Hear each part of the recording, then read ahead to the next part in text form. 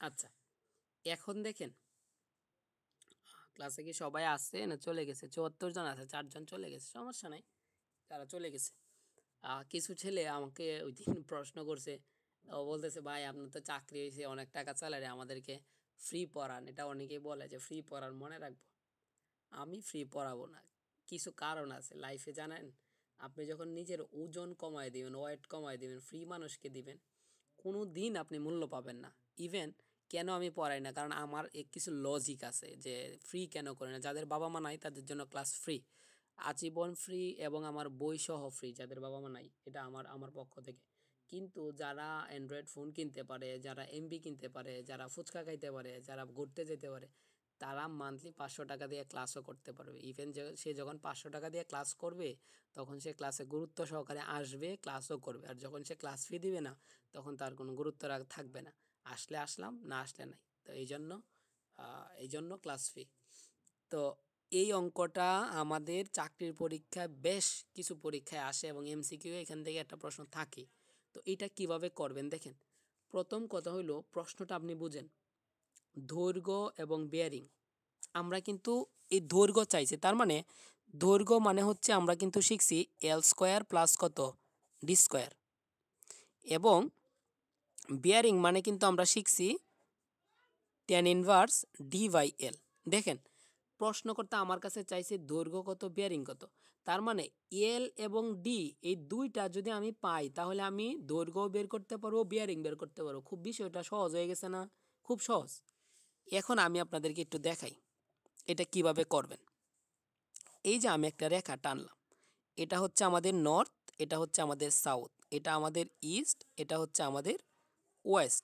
এবং এটাই কিন্তু আমাদের এক্স অক্ষ এবং নর্থ ওয়েস্ট, এটাই হচ্ছে আমাদের কি ওয়াই অক্ষ।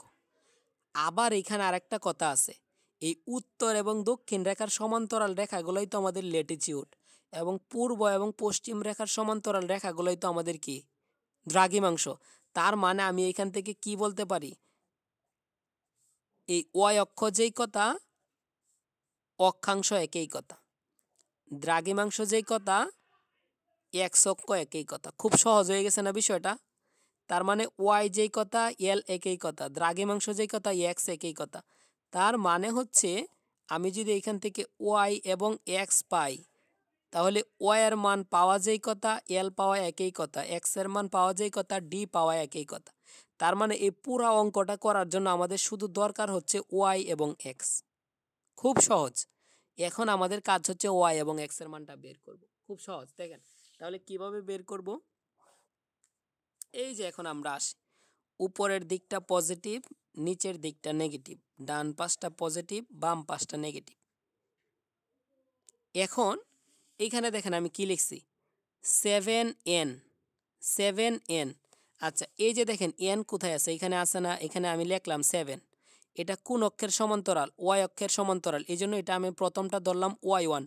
এবং এই এন কিন্তু পজিটিভের এবং সাউথ হচ্ছে নেগেটিভের তার মানে এটাকে আমি লিখতে পারি ওয়াই ওয়ান ওয়াই ওয়ান এবং এটা যেহেতু এন এন পজিটিভের এটা হচ্ছে সেভেন পরে হচ্ছে ফাইভ ডাব্লিউ এই যে দেখেন, আমি এখানে ডাব্লিউর জায়গার মধ্যে ফাইভ লিখলাম। এটা কোন অক্ষের সমান্তরাল? এক্স অক্ষের সমান্তরাল এবং ডাব্লিউরটা কিন্তু দিকটা হচ্ছে নেগেটিভ তাহলে এটাকে আমি লিখতে পারি এক্স ওয়ান এটার দিকটা নেগেটিভ তার মানে এটার মান হচ্ছে এক্স ওয়ান ডাব্লিউ হচ্ছে মাইনাসের ফাইভ ভিডিও দেখবেন আরও ক্লিয়ার হবেন। এরপর হচ্ছে সেভে সিক্স এস এই যে দেখেন এসের জায়গায় আমি সিক্স লিখলাম। এটার দিকটা হচ্ছে নেগেটিভ যেহেতু এটা ওয়াই অক্ষের সমান্তরাল, প্রথমটা ধরছিলাম ওয়াই ওয়ান তাহলে পরেরটা ধরবো আমরা ওয়াই টু তাহলে ওয়াই টু এটা যেহেতু এস এস আমরা জানি নেগেটিভ তাহলে মাইনাসের সিক্স পরেরটা হচ্ছে টু ই তাহলে এই যে ইর জায়গার মধ্যে আমি টু দিলাম, এটা এক্স অক্ষের সমান্তরাল এবং এটার দিকটা পজিটিভ, তাহলে এটাকে আমি লিখতে পারি এক্স টু প্লাসের টু। এইটুকু বোঝার পরে অঙ্ক শেষ, খেলা খতম শেষ। এখন আমাদের কাজ হচ্ছে এখানে দেখেন, এখানে দুইটা ওয়াই আছে এবং দুইটা এক্স আছে। আমাদের এখন কাজ হচ্ছে দুইটা ওয়াই এবং দুইটা এক্স থেকে একটা ওয়াই এবং একটা এক্স বের করে নিয়ে আসব। তাহলে এই ওয়াই বের করার সূত্র কি? একটা ওয়াই বের করার সূত্র হচ্ছে Y one minus Y two Y ওয়ানের মান হচ্ছে আমাদের প্লাসের সেভেন সূত্রের মাইনাস ওয়াই টুর মান হচ্ছে মাইনাসের সিক্স এখানে কিন্তু মাইনাসের সিক্স দিতে হবে। তাহলে মাইনাসে মাইনাসে প্লাস এটা কিন্তু সাত আর ছয় কত? তেরো। এটা হয়ে যাবে আমাদের প্লাসের তেরো। তাহলে ওয়াই এর মানটা কখন প্লাস হয়? যখন সে নর্থের কাছে থাকে। এই জন্য আমরা এখানে লিখে দেব নর্থ এক্স বের করার সূত্র কি? এক্স ওয়ান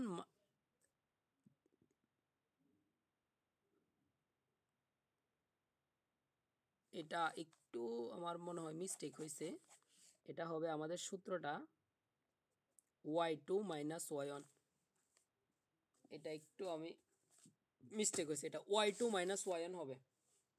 এটা একটু আবার দেখেন। Y two minus Y one হবে।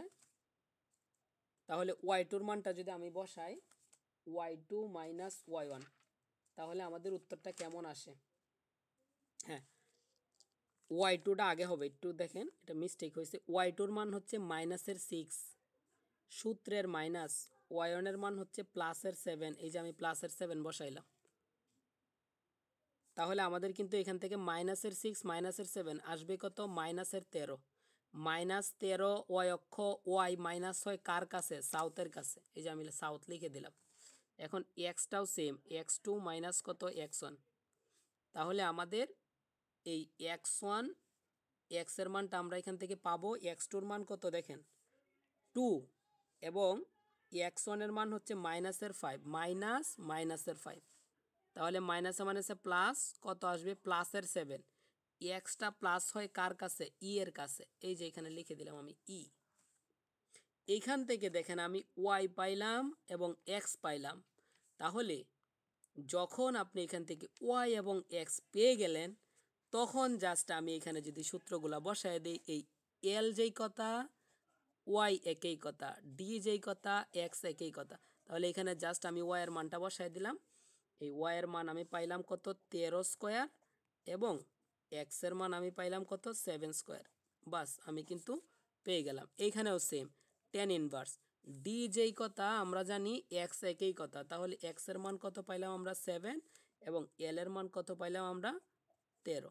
এইখান থেকে কিন্তু আমাদের টিটার মানটা বের হয়ে আসবে। কত বের হয়েছে? এই যে দেখেন টিটার মান টেন ইনভার্স সিক্স সরি এটা হচ্ছে আমাদের সেভেন ডিভাইডেড বাই তেরো। আঠাশ দশমিক তিরিশ।